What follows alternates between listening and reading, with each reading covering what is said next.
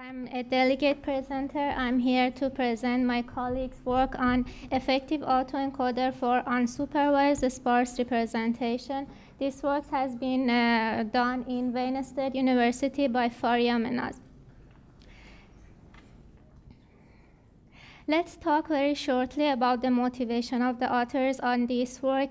Uh, in this work, uh, the authors decided to work on learning the features and also a sparse representation of the features. So why learning features? Because in the domain of big data, if we learn the features automatically through the unsupervised learning, uh, it will be more applicable because our data will have very dimensions. And uh, the next motivation is that why sparse representation? The same answer, because uh, sparseness will be more uh, applicable if you have uh, data with very high dimensionality. So here I'm going to talk about the objectives of this work and the main contribution. Then I will talk about the framework, the formulation of this framework, and the main part of the work, which is the optimization. And then uh, we will show some experimental and results on classification and face recognition. And at the end, you will see uh, our, uh, prog uh, our program on our future work. Uh, so the objective of this, this, work is that learning the sparse representation can be very challenging because this problem is non-convex property problem and also it has a large Hessian computation involved in it. So we need a new, a new optimization technique which should uh, be faster, faster than gradient descent. So based on the, these motivations, this is the main contribution of this work. In this work, a, an auto-sparse encoder is implemented, and also for the first time, a sequential minimal optimizer, SMO, uh, which is faster, uh, and it doesn't have a gradient, uh, the Hessian computation uh, is also implemented. So here you can see the framework of this module. Uh, you can see uh, this module has two parts, one encoder and one decoder. Uh, in the first part, in the encoder, the image patches will be given as an input to the encoder. The encoder will map these inputs to the code vectors and then uh, the, decoder will start the work and it will reconstruct the input uh, to be um, as close as possible to the samples. So here is some details about this module, which is FASE fast auto sparse encoder. Uh, there is a two-part uh, encoder and a decoder, where the encoder maps the input to code vector, and the decoder uh, tries to approximate the input sample. Here you can see the main uh, formulation of this work. Uh, in this work, we have an optimization problem. This optimization problem uh, has two phases. In the first phase, we have to infer the sparse code vector. And in the second phase, uh, we have to adjust both weights and the dictionary. So the formula you can see an optimization problem over the dictionary D and the code vector Z and the weights W. So in that formulation, in the first part, uh, uh, we are going to uh, infer the sparse uh, code vector. So for the first time, we introduced the sequential minimal optimizer SMO, uh, which is faster than gradient descent method, and it avoids the expensive Hessian computation.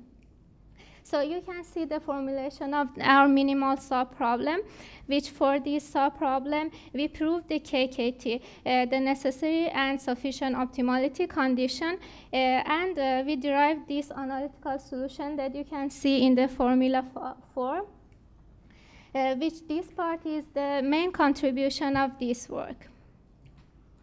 Uh, this one is the second phase. After we did this optimization and uh, the inference, we go to the second phase of learning the weights and also learning the dictionary. And after that, uh, we use only one step of the gradient, uh, the stochastic gradient descent, which makes this algorithm much faster. We are going to evaluate this uh, module, the FASE module. Uh, so we used it in classification and also face recognition. The first part, uh, I'm going to show the results on some classifications. Uh, you can see the pipeline of uh, our work. First, we have some data, the unlabeled data, which we are using our unsupervised learning to learn the features. Then in the second, uh, the second phase, we use some classification methods like SVM or DBN. And um, using these features, we do the classification so that we can uh, evaluate the, the, accuracy of our, our algorithm uh, with the peers.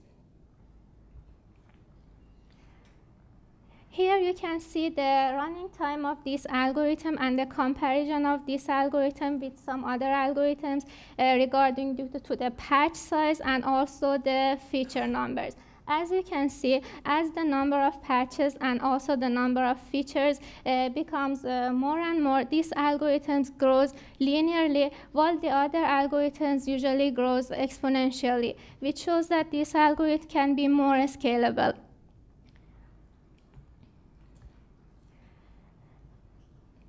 So uh, we uh, decided to uh, apply this algorithm on Caltech database, uh, and uh, we used the FASE module and also the DNN of two layers. We made this decision because we wanted to be similar to the peer algorithms to compare the classification results. As you can see in the last line, the classification results of this algorithm is higher than the, the other ones.